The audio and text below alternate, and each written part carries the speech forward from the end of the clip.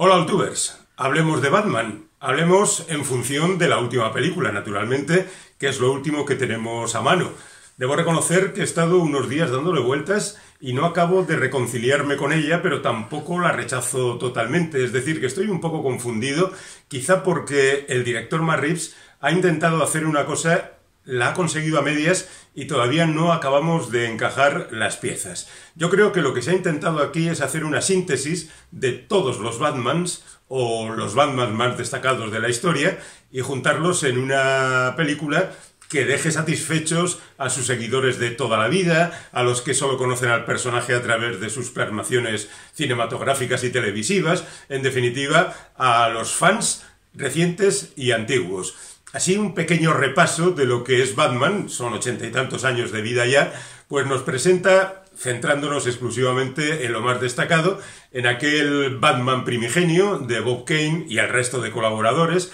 que crearon un personaje en un momento especialmente conflictivo, a finales de los años 30, eh, después o durante todavía la Gran Depresión, con la guerra, la Segunda Guerra Mundial a la vuelta de la esquina, y con un personaje que nace para amedrentar a los malos y la verdad es que durante bastante tiempo va creando su galería de personajes contrarios y su galería de personajes secundarios y va creciendo la leyenda. Digamos que esa trayectoria se ve algo alterada en los años 50 cuando cae aquella especie de acusación sobre los cómics de estar pervirtiendo a la juventud y entonces los cómics deciden mm, ponerse en unas situaciones un poco más naif, más ingenuas, más, oh, yo soy solamente un personaje que trata de entretener y no de adoctrinar a la gente sobre lo que tiene que hacer. Está claro que los derroteros de la historia van por otro camino y poco a poco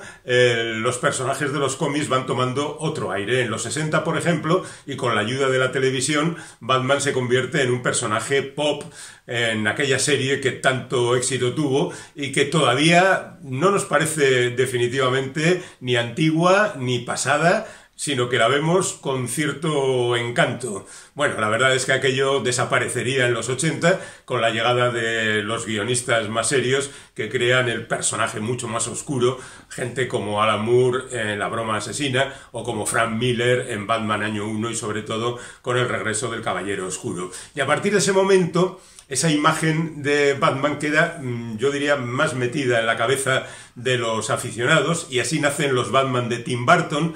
que, cuya segunda película Batman vuelve es mucho más oscura que la primera y quién sabe por dónde había, podría haber ido la cosa si no llega a intervenir allí la productora que pone a Joel Schumacher al frente de la franquicia y hace aquellos dos horrores que son Batman Forever y Batman y Robin que descalabran bastante todo el ideario que hasta ese momento se había venido alimentando. Pero bueno, ya llegando al siglo XXI nos encontramos con diferentes Batman. En el cine, los Batman de, de Nolan, de Christopher Nolan, que son unos Batman que beben del, del origen, pero al mismo tiempo tratan de empujar hacia adelante el personaje que va bien en la primera, va mejor en la segunda y se cae bastante en la tercera, con lo cual parece que existe una maldición de no poder prosperar en el desarrollo de los personajes, ¿no? Y al mismo tiempo, o poco después, aparece el Batman de Grant Morrison y eh, aparece el Batman de Scott Snyder y el Batman de Tom King,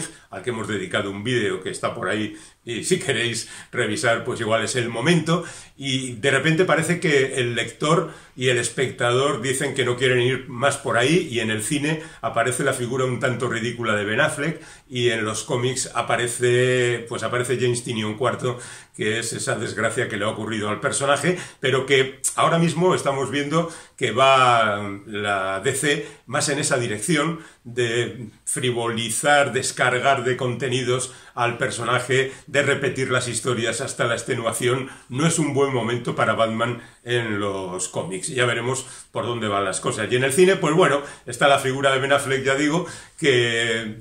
ejerce de secundario en algunas películas, al que no le dejan acceder por fin a esta película de Batman y todo queda en manos de Matt Reeves y la incorporación que hace el bueno de Robert Pattinson y el resto de los actores que eh, se enfrentan al renacimiento del personaje. Ya digo, y aquí es donde chocamos con ese desconcierto que nos posee, yo creo que a todos los buenos aficionados al personaje, porque esa síntesis no puede ser profunda a pesar de que la película dure tres horas, y nos encontramos con un Batman un poco desconcertante, mm, en el principio más centrado en su personaje eh, de Batman y no tanto en el de Bruce Wayne, aunque las relaciones de este con el resto de personajes, por ejemplo Alfred, son insatisfactorias, muy superficiales, poco claras, mientras que el Batman que, aparece en principio se presenta como la venganza, eso, ese que tiene que amenazar a los malos, pero que de repente se convierte,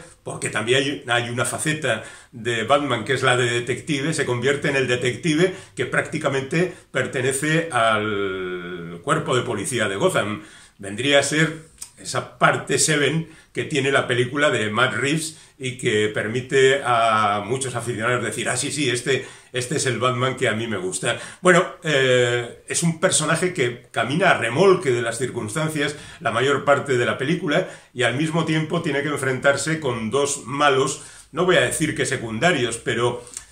quizá poco importantes, ¿no? El pingüino parece que está más ahí eh, preparado para hacer esa serie de televisión que ya nos han anunciado que Colin Farrell va a interpretar y, hace un papel mm,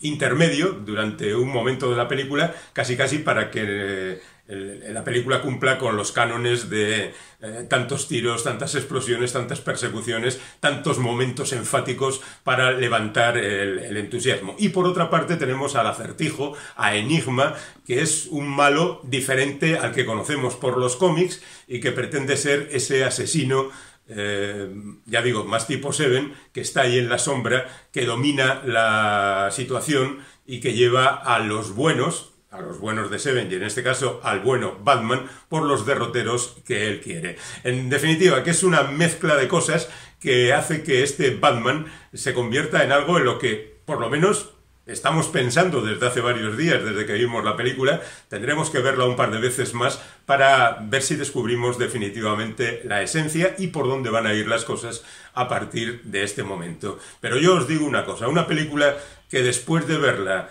te sigue acompañando durante un tiempo, te hace reflexionar, pensar en ella y despiezar las cosas, es una buena película. Ahí lo dejo.